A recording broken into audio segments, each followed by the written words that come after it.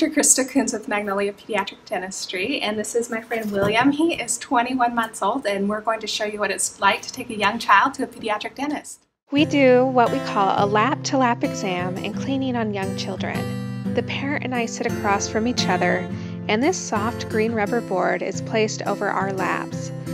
The child faces the parent for a big hug with their legs on either side of the parent. Then the parent lays the child down. This is really nice because the child can see his or her parent the whole time and knows that they are in charge. Parents can also interact with their little ones, sing or clap their hands while I get to work. I usually start by gently touching the child's face and asking them to open. I'll use a little mirror to count all the teeth and check for cavities, and to evaluate their gums, palate, airway, and frenum attachments. I also evaluate their dental growth and development and spacing of the teeth. Then I start to brush with the special toothbrush we use for young kids.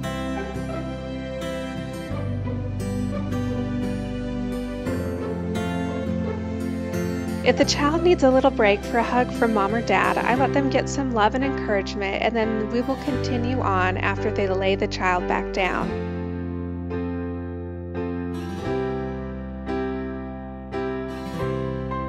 I wipe the toothpaste out of their mouths with wet cotton cloths. Then I floss.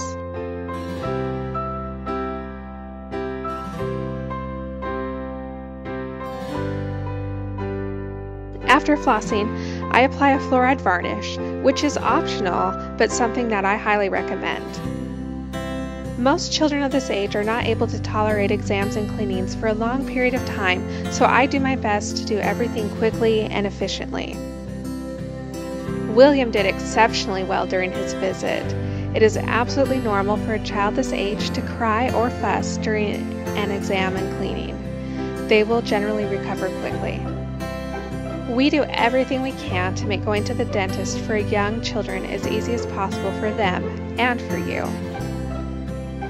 We recommend that you bring your child in to see a pediatric dentist by the time they are a year old or their first tooth comes in, whichever comes first.